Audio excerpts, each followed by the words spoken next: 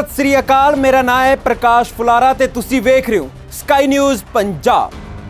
ਜਗਰਾਉਂ ਦੇ ਵਿੱਚ ਹੋਏ ਦੋ ਥਾਣੇਦਾਰਾਂ ਦੇ ਕਤਲ ਮਾਮਲੇ ਦੇ ਵਿੱਚ ਪੰਜਾਬ ਦੇ ਸਭ ਤੋਂ ਖੁੰਖਾਰ ਗੈਂਗਸਟਰ ਜੈਪਾਲ ਭੁੱਲਰ ਦਾ ਨਾਮ ਸਾਹਮਣੇ ਆ ਰਿਹਾ ਹੈ, ਜਿਸ ਨੂੰ ਫੜਨ ਦੇ ਲਈ ਲਗਾਤਾਰ ਪੁਲਿਸ ਦੇ ਵੱਲੋਂ ਵੀ ਛਾਪੇਮਾਰੀ ਕੀਤੀ ਜਾ ਰਹੀ ਹੈ।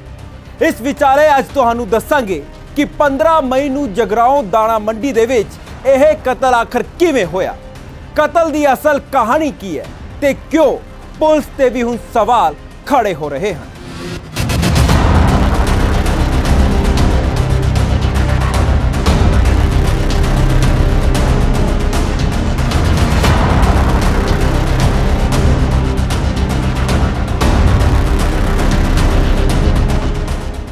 ਤਾਰੀਖ 15 ਮਈ 2021 ਸਮਾਂ ਸ਼ਾਮ ਕਰੀਬ 6 ਵਜੇ। ਥਾਂ ਦਾਣਾ ਮੰਡੀ, ਜਗਰਾਉਂ। ਸ਼ਰਿਆਮ ਕੁਝ ਗੈਂਗਸਟਰ ਪੰਜਾਬ ਪੁਲਿਸ ਦੇ ਦੋ ਥਾਣੇਦਾਰਾਂ ਦਾ ਗੋਲੀਆਂ ਮਾਰ ਕੇ ਕਤਲ ਕਰਕੇ ਫਰਾਰ ਹੋ ਜਾਂਦੇ ਹਨ। ਪੁਲਿਸ ਮਹਿਕਮੇ ਦੇ ਵਿੱਚ ਭਗਦੜ ਮਚ ਜਾਂਦੀ ਹੈ।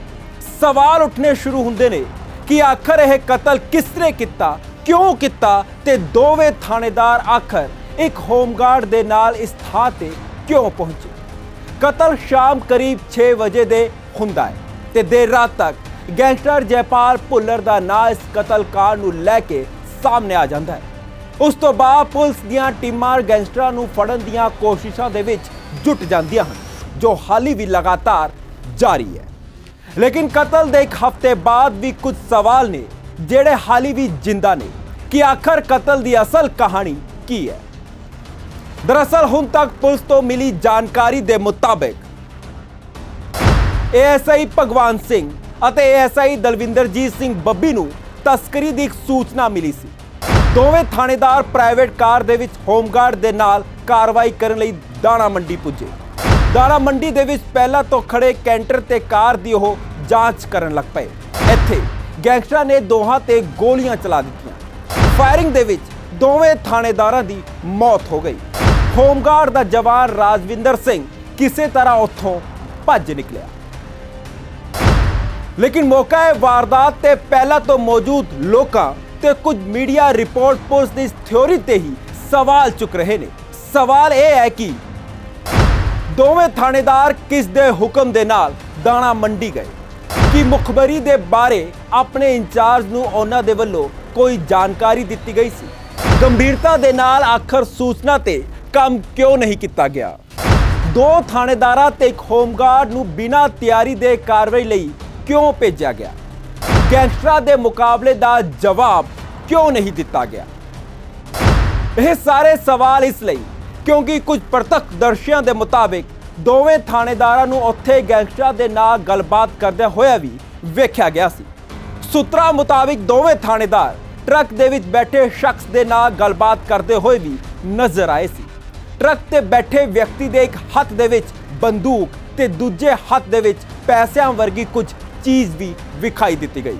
ਜਾਨੀ ਕਿ ਕਤਲ ਤੋਂ ਪਹਿਲਾਂ ਦੋਵੇਂ ਥਾਣੇਦਾਰਾਂ ਦੀ ਗੈਂਗਸਟਰ ਦੇ ਨਾਲ ਗੱਲਬਾਤ ਹੁੰਦੀ ਹੈ, ਜਿਸ ਤੋਂ ਕੁਝ ਦੇਰੀ ਬਾਅਦ ਹੀ ਗੈਂਗਸਟਰ ਦੋਵੇਂ ਥਾਣੇਦਾਰਾਂ ਨੂੰ ਗੋਲੀਆਂ ਮਾਰ ਦਿੰਦੇ ਹਨ, ਜਿਸ ਤੋਂ ਬਾਅਦ ਗੈਂਗਸਟਰ ਇੱਕ ਏਐਸਆਈ ਦੀ ਰਿਵਾਲਵਰ ਤੇ ਫੋਨ ਵੀ ਖੋ ਕੇ ਲੈ ਗਏ। ਦੱਸਿਆ ਜਾ ਰਿਹਾ ਹੈ ਕਿ ਦਾਣਾ ਮੰਡੀ ਦੇ ਵਿੱਚ ਗੈਂਗਸਟਰ ਪਹਿਲਾਂ ਤੋਂ ਹੀ ਮੌਜੂਦ ਸਨ। ਕੈਂਟਰ ਦੇ ਵਿੱਚ ਪਈਆਂ ਕਿੱਟਾਂ ਦੀ ਡਿਲੀਵਰੀ ਹੋ ਰਹੀ ਸੀ। ਦਾਰਾ ਮੰਡੀ ਦੇ ਵਿੱਚ ਗੈਂਗਸਟਰਾਂ ਦੇ ਗੈਂਗ ਦੇ ਵੱਲੋਂ ਕਈ ਚੱਕਰ ਪਹਿਲਾਂ ਤੋਂ ਲਾਏ ਗਏ। ਹਥਿਆਰਾਂ ਸਮੇਤ ਕੁਝ ਹੋਰ ਚੀਜ਼ਾਂ ਦੀ ਡਿਲੀਵਰੀ ਹੋ ਰਹੀ ਸੀ ਜੋ ਸਾਨੂੰ ਸੁੱਤਰ ਦੱਸ ਰਹੇ ਨੇ। ਆਖਰੀ ਡਿਲੀਵਰੀ ਤੇ ਦੋਵੇਂ ਐਸਆਈ ਪੁੱਜ ਗਏ ਤੇ ਫਿਰ ਉਹਨਾਂ ਦੇ ਉੱਤੇ ਗੈਂਗਸਟਰਾਂ ਨੇ ਫਾਇਰਿੰਗ ਕਰ ਦਿੱਤੀ। ਹੁਣ ਸਵਾਲ ਇਹ ਕਿ ਆਖਰ ਇਸ ਗੋਲੀकांड ਦੇ ਵਿੱਚ ਜੈਪਾਲ ਭੁੱਲਰ ਦਾ ਹੱਥ ਕਿਵੇਂ ਸਾਹਮਣੇ ਆਇਆ? ਤਾਂ ਪੁਲਿਸ ਦੇ ਵਿੱਚ ਸਾਡੇ ਸੂਤਰਾਂ ਦਾ ਕਹਿਣਾ ਹੈ ਕਿ ਜੈਪਾਲ ਭੁੱਲਰ ਨੇ ਦੋਰਾਹੇ ਦੇ ਵਿੱਚ ਇੱਕ ਪੁਲਿਸ ਵਾਲੇ ਤੋਂ ਰਿਵਾਲਵਰ ਖੋਈ ਸੀ ਇਸ ਵਾਰਦਾਤ ਨੂੰ ਕਰਨ ਤੋਂ ਪਹਿਲਾਂ, ਜਿੱਥੇ ਉਸ ਦਾ ਅਸਲੇ ਦਾ ਲਾਇਸੈਂਸ ਡਿੱਗ ਗਿਆ ਤੇ ਉੱਥੋਂ ਪੁਲਿਸ ਇਸ ਕਤਲ ਦੇ ਨਾਲ ਗੈਂਗਸਟਰ ਜੈਪਾਲ ਭੁੱਲਰ ਦਾ ਨਾਂ ਵੀ ਜੋੜ ਰਹੀ ਹੈ।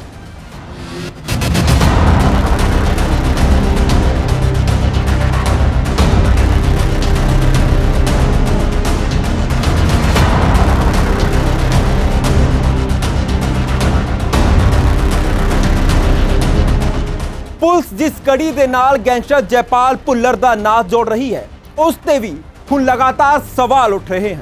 ਸਵਾਲ ਇਹ ਹੈ ਕਿ ਜੇਕਰ ਗੈਂਗਸਟਰ ਜੈਪਾਲ ਭੁੱਲਰ ਕੋਲ ਪਹਿਲਾਂ ਤੋਂ ਹੀ ਇੰਨੀ ਵੱਡੀ ਗਿਣਤੀ ਦੇ ਵਿੱਚ ਹਥਿਆਰਾਂ ਦਾ ਜ਼ਖੀਰਾ ਸੀ, ਤਾਂ ਫਿਰ ਉਹ ਪੁਲਿਸ ਵਾਲੇ ਦੀ ਰਿਵਾਲਵਰ ਕਿਉਂ ਖੋਏਗਾ? ਹਾਲਾਂਕਿ ਕਤਲ ਕਾਂਡ ਨੂੰ ਲੈ ਕੇ ਉੱਠੇ ਸਵਾਲਾਂ ਦੇ ਵਿਚਕਾਰ ਇੰਤਜ਼ਾਰ ਥਾਣੇਦਾਰਾਂ ਦੇ ਕਾਤਲਾਂ ਦੀ ਗ੍ਰਿਫਤਾਰੀ ਦਾ ਹੈ। ਫਿਲਹਾਲ ਇਸ ਖਾਸ ਪੇਸ਼ਕਸ਼ ਦੇ ਵਿੱਚ ਇੰਨਾ ਹੀ। ਹੋਰ ਤਾਜ਼ਾ ਤਰੀਨ ਖਬਰਾਂ ਤੁਸੀਂ ਲਗਾਤਾਰ ਵੇਖਦੇ ਰਹੋ ਸਕਾਈ ਨਿਊਜ਼ ਪੰਜਾਬ